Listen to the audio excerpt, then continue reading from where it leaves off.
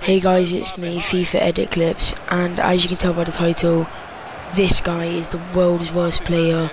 Um, he has a shot, hits post, and he then goes and does that.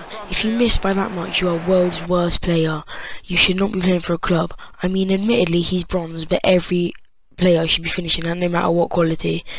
I thought I'd upload this video, guys, just to show how bad this guy is. Don't buy him, and I'll see you guys in the next video. Peace.